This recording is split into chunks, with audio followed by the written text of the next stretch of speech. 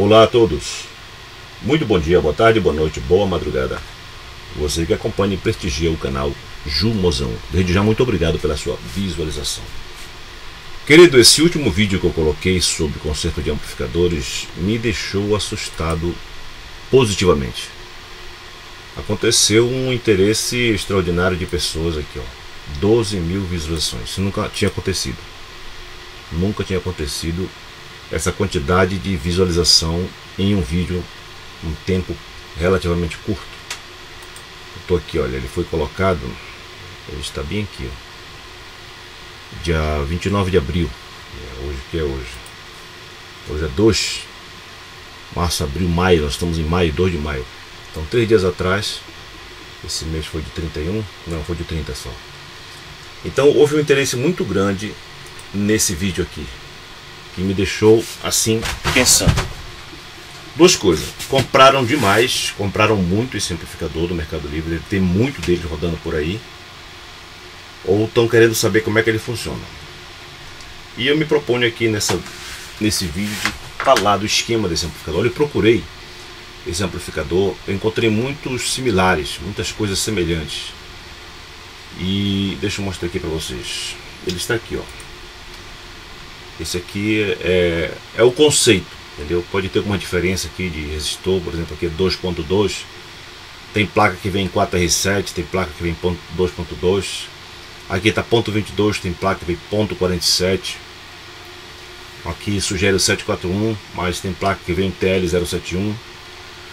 Esse amplificador, querido, é, é uma coisa interessante. Olha, eu não sei quem foi o engenheiro que o projetou. Eu sei que tem réplicas dele para tudo quanto é lado. Quando gente procura, aí o cidadão vai lá, faz uma.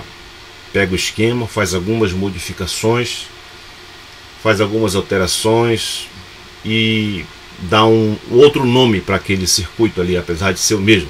Filosoficamente é, é um circuito muito é, simétrico, um circuito que não precisa de ajuste, pois o ajuste é feito pelo próprio operacional. O 0 volts é feito aqui pelo operacional. Entendeu? Sempre ele vai encontrar 0 volts aqui, porque eu tenho um operacional na saída. Isso facilita muito as filosofias, né? as correntes. Tem uma corrente que é contrária por N razões. Aí tem as correntes que dizem, não, é melhor porque ele segura 0 volts. Então eu não vou aqui puxar farinha para o meu prato, mesmo porque eu já expliquei em outros momentos que eu não me afeiçoo assim por um circuito, dizer que esse aqui ah, esse circuito é bom. Eu gosto do amplificador, que eu gosto de ouvir o som dele. Então, se ele dá um som bom, ele passa a ser um bom amplificador. Eu não observei, pelo menos ao meu ouvido, que foi o último concerto, né? Ele tem ser tendencioso. Ele me pareceu bem assim linear, bem no meio assim da coisa, nem para cima nem para baixo bem homogêneo, pronto para aceitar uma equalização. Ele me pareceu, eu não fiz aferições em osciloscópio, nem em outro tipo de instrumento, apenas eu ao ouvido. Bem, ele é um amplificador muito simétrico, muito simétrico. Observe aqui em cima e embaixo, na parte superior e na parte inferior, é, aditiva e subtrativa. Veja o valor dos componentes: 100, ou aqui é uma exceção porque eu estou trabalhando com a, com a corrente de bis, estou equalizando-a. Mas veja o seguinte, ó, veja nos extremos: 330 PF, 330, 100 R, 100 R, 330, 330. A malha 680, 38K. Mesma coisa aqui, tá? Veja aqui, observe esse ponto aqui nele. O que faz dele um amplificador muito exato no sentido de se não houver problemas no ganho dos transistores, o semiciclo positivo será muito similar ao semiciclo negativo em amplitude e na forma de, de percorrer o tempo. Ele tem uma alimentação estabilizada para o amplificador operacional e essa, essa, esse circuito aqui, diferentemente de outros que eu já mostrei, que utilizam a mudança de corrente nesse ponto aqui para servir de excitação para o circuito à frente. Esse aqui não, ele usa apenas alimentação para alimentar o amplificador. O que acontece aqui vai ser percebido nesse ponto e esse ponto aqui que sai o sinal amplificado, que ele vai para cima e para baixo, para cima e para baixo. Então, ele, onde ele tiver o caminho para ele, ali ele vai se desenvolver. Se, se for o semiciclo positivo, aqui ele vai bater, não vai fazer nada, vai lançar o PNP para a região de cortes. sendo positivo, ele vem para cá, vai encontrar caminho aqui, vai, vai, vai produzir a condução do transistor e ele vai excitar a sua sequência de transistores, tal, tal, tal, produzindo o seu ciclo aqui, mandando para o alto-falante. Então, esse é um amplificador muito simétrico. Se você que vai ver o, o vídeo souber quem foi o engenheiro, não a pessoa que popularizou, tá? Não confunda a pessoa que popularizou o circuito com a pessoa que realmente projetou. Eu não sei. Eu pesquisei aqui, procurei entender se encontra algum circuito.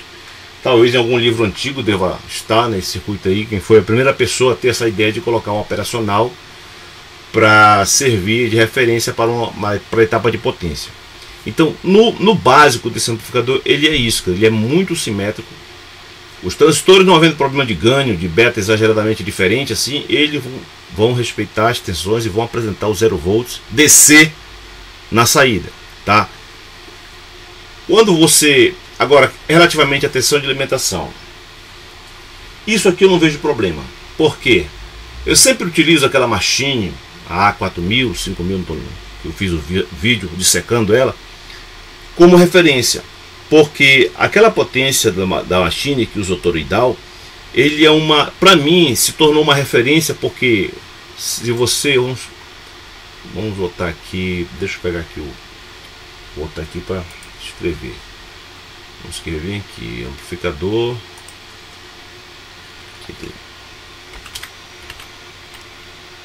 Amplificador AB. Deixa eu ver Jumozão. Onde é que vai me trazer aqui? Aqui, não, não, não. Vamos fazer o seguinte. Vamos voltar aqui. Vamos direto aqui no Jumozan. Aqui no canal. É playlist. Aqui eu tenho a, a playlist. Tá aqui, essa aqui, ó. Vamos ver aqui. Eu tenho a playlist da Machine. Aí ela para mim se tornou uma referência porque eu aprendi muita coisa com esse amplificador. E, por exemplo, aqui, esse aqui é um circuito é, muito simples, entretanto muito eficiente. E apesar da simplicidade, ele é muito eficiente. Ele não tem proteção para um curto na saída, nem para sobrecarga. Ele vai amplificar o que botarem na entrada, ele vai amplificar e botar para frente. Se houver algum problema, o que acontece? Vai queimar alguns transistores, como foi o caso desse, desse último reparo. Se houver algum problema, veja, não há proteção olha, contra curto-circuito, nem proteção. Então, aquele circuito da machine me ensinou muita coisa. O que, é que a machine calcula? Se houver um curto, vai queimar um ou dois transistores, aí ele vai fazer romper o fusível. Se o fusível estiver dimensionado corretamente, aí desliga seu aparelho. Não vai ficar aquela situação de uma corrente muito potente no circuito, porque o fusível vai queimar. Então não há proteção. E aquela potência mostrou para mim o seguinte, que quatro transistores dão muita potência quando eles são bem dimensionados, quando eles estão bem calculados, bem arranjados, no dissipador correto, recebendo tubo ventilação correta. Então eu aprendi muita coisa ali nessa machine por essa razão. Tá? É A4000, é a WVOX. Então se você quiser aprender mais de amplificadores, eu tenho todos os vídeos dele aqui. Ó. Eu vou do início até a etapa de saída, até o circuito RL, vem aqui, ó, tudo. Você pode aprender, você pode estudar, tem muito material. Apesar de ele ser assimétrico, né, se você presta atenção, ele é assimétrico. Cadê? Tá aqui, ó. Ele não usa aquele par complementar na entrada diferencial, digo, o mesmo diferencial na entrada e na saída, por dois para cada semiciclo, né? Mas ele é interessante para aprender, querido, é muito importante ali, traz muita informação. Eu recomendo que você assista. Mas voltando aqui para o nosso amplificador, esse aqui, que é o, é o esquema que eu tenho, como eu disse, tem pouca diferença. E eu repito novamente, se você souber quem foi o projetista original, projetista original, não a pessoa que o popularizou. Aí você escreva no comentário aí, aí eu vou pesquisar, vou estudar e saber quem é essa pessoa. Então, lá na machine nós encontramos 92 volts de tensão, positivo e negativo. Só que ele recomenda até 4 ohms. Esse aqui, o Mercado Livre, está sendo vendido como até para 2 ohms. Deixa eu mostrar aqui para você. Aqui tá aqui ele, olha, 2 ohms, tá vendo aqui, ó? 2 ohms, ele é a recomendação. Agora, 2 ohms, querido, nesse circuito aqui é meio assim, uma coisa meio imprudente, né? Meio imprudente, porque em 2 ohms ele funcionando e havendo curto na saída, é, eu não calculo que apenas dois transistores irão queimar, porque a corrente estará alta em todos os transistores. Tá? Ela está alta em todos os transistores. Então, queimando um e rompendo o fusível, tudo bem. Mas como todos estarão alto e queimando um, a, a situação de curto prevalecer por mais de alguns nanosegundos, possivelmente pode queimar outro. Eu, pessoalmente, não o recomendaria para 2 ohms. Mas eu não sei se essa pessoa aqui fez os testes e funcionou ele em 2 ohms. Eu não sei. Está anotado aqui 700 watts em 2 ohms. Mas é muita tensão para poucos transistores, que eu estou vendo aqui 5 apenas. Se tivesse aqui, por exemplo, uns 8 transistores, 70 volts, aí sim eu ficaria tranquilo de olha, pode ligar em 2 ohms que ele é, ele é barra pesada. O dissipador que é vendido, cadê? O dissipador, cadê? Não tem mais aqui o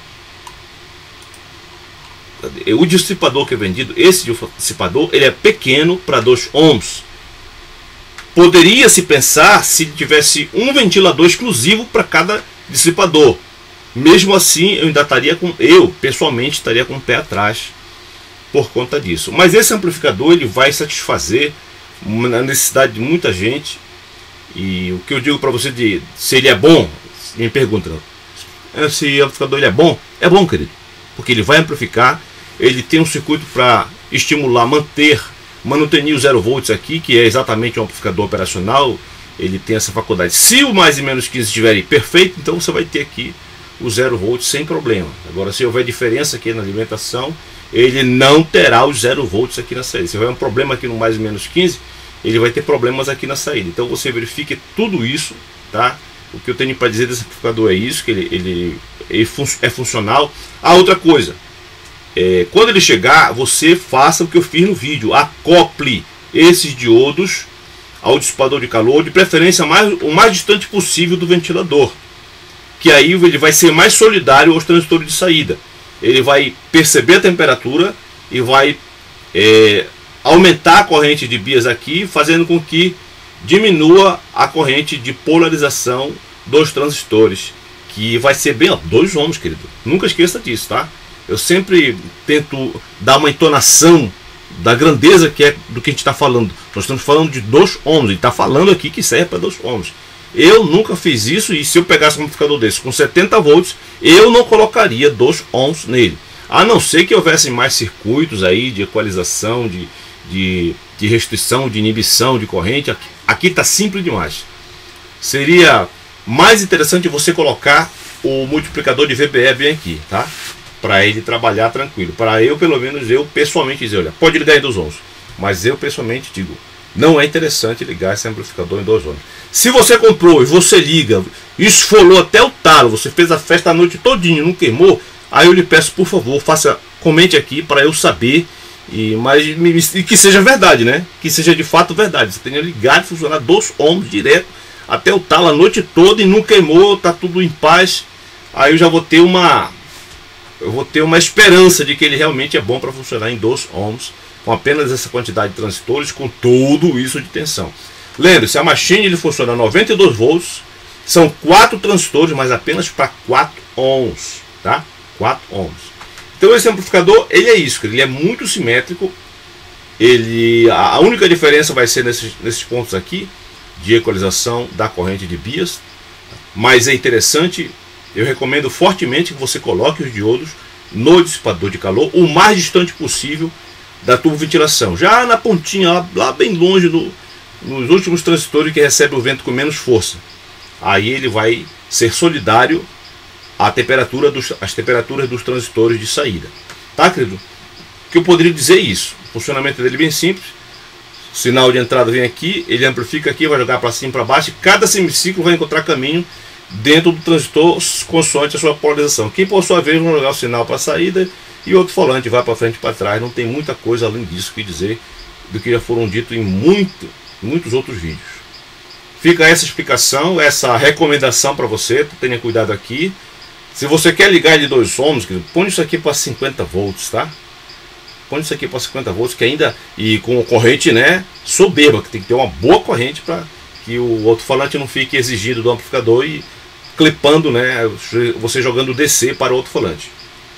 Ficam essas considerações, essa impressão que eu tive, eu não sei porque essas pessoas se interessaram tanto por esse amplificador. Eu tô assim é, reflexivo na quantidade de visualização que esse vídeo aqui teve. Ó, 12 mil, isso nunca tinha acontecido, querido. Daí a minha perplexidade positiva. Muito obrigado por todo que assistiram, que assistiu agora também e boa sorte.